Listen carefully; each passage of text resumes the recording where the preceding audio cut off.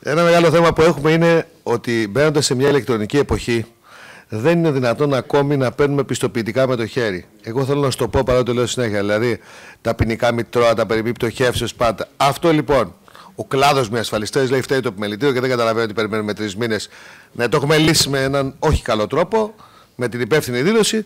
Αυτό κάποια στιγμή πρέπει να τελειώσει. Δηλαδή, νομίζω ότι πρέπει ηλεκτρονικά αυτά όλα να μπορέσει κάποια στιγμή να τελειώσουν, γιατί αυτό σημαίνει σπάω τη γραφειοκρατία και ε, νομίζω ότι χρειάζονται πολλά βήματα και γρήγορα γι' αυτό.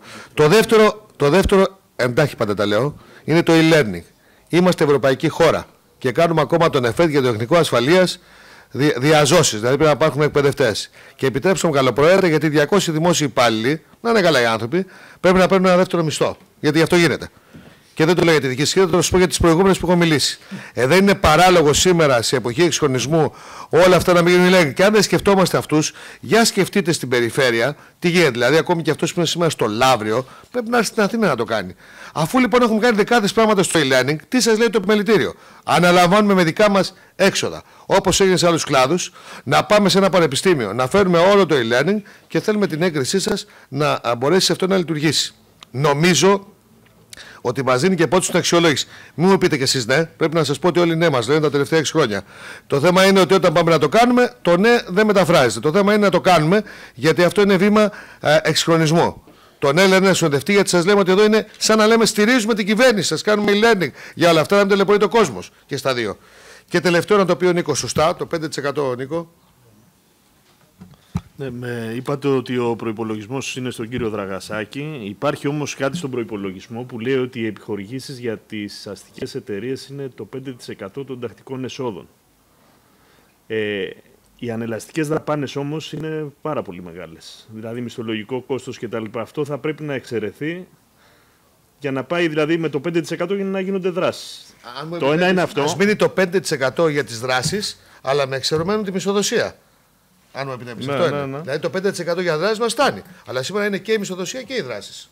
Που σημαίνει διάλυση των αστικών αυτό.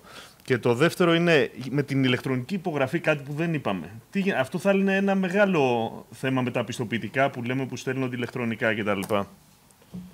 Η βάση του επιμελητηρίου, συζητώ συγγνώμη, είναι έτοιμη σήμερα να μην έρχεται ούτε ένα στο επιμελητήριο εάν αύριο υπάρξει ηλεκτρονική υπογραφή. Δηλαδή, εμείς σήμερα το ζητάμε να έρθει για να αποδείξει ότι αυτός είναι αυτός, είναι να φέρει κάποιον. Αν είχαμε την ηλεκτρονική υπογραφή, θα μπορούσαμε να πούμε αύριο, όχι, ότι όλα τα μέλη μπορούμε να τα εξυπηρετήσουμε μέσω του ίντερνετ.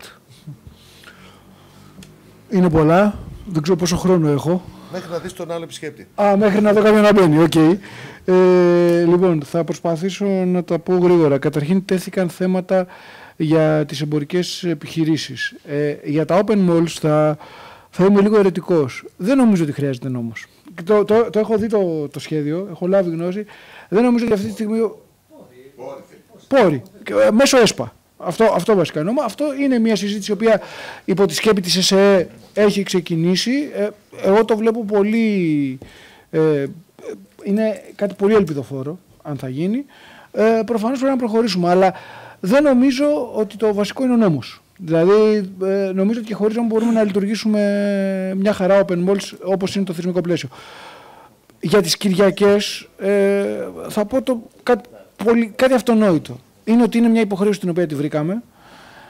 Είναι μια υποχρέωση η οποία, και θα σας το πω και ας γράφει η κάμερα, ε, ε, ήταν το τελευταίο, ε, όχι, όχι, όχι, όχι, όχι, όχι.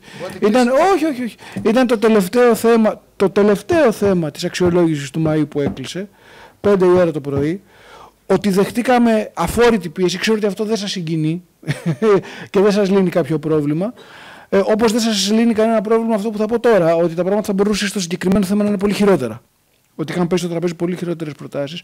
Σε κάθε περίπτωση, αυτό που εμείς θέλουμε για το επόμενο χρονικό διάστημα και φυσικά υπό την αίρεση της απόφασης που θα βγει από το Συμβούλιο της Επικρατείας, να υπάρξει ένας ειλικρινής διάλογος όλων των, των εμπλεκόμενων φορέων, είτε εκπροσωπούν μικρές εμπορικές επιχειρήσεις είτε μεγάλες, γιατί αυτό είναι το κλειδί, και να βρούμε ένα λογικό και βιώσιμο σύστημα. Λοιπόν, για τα θέματα της ηλεκτρονικοποίησης των διαδικασιών συμφωνώ, αλλά θα πω αυτό που είπα και πριν.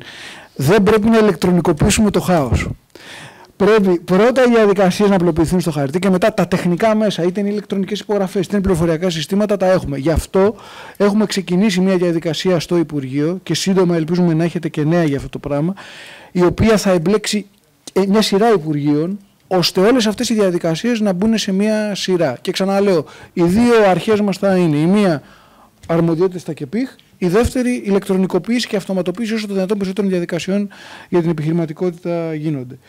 Ε, τώρα, για το θέμα ε, του 5%, καταρχήν να πω ότι δεν απαγορεύεται σε κανένα επιμελητήριο να προχωρήσει σε αύξηση μετοχικού κεφαλαίου της αστικής του εταιρείας. Για να καλύψει. Όχι, αν μου επιτρέπεις καλοπρόεδρα, Ναι. με υποχρώνει να το κάνω είναι η απάντηση. Ωραία. Είναι, α, αν θες, είναι και μια δυνατότητα η οποία δείχνει και μια δέσμευση για αυτή την εταιρεία. Σύμφωνοι. Πάντως έτσι όπως είναι σήμερα, αν Ναι. είναι σήμερα έτσι όπως το έχεις γενικέ μου, επειδή το έχουμε σκεφτεί εδώ είναι οικονομικό μας, είναι μονόδρομος για μα να το κάνουμε αυτό. Ωραία.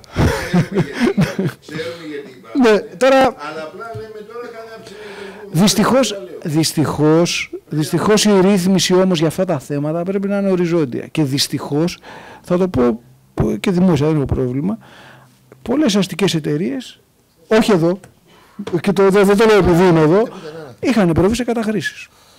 Κάτι Ε, Ξέρετε πρέπει να την γίνει. απάντηση που έδωσε η Κεντρική Ένωση και εμείς σε αυτό; Είναι το προηγούμενο που σας έλεγα με την υπηρεσία μιας τάσης. Όσοι κάναν κατάχρηση στον εισαγγελέα και στη φυλακή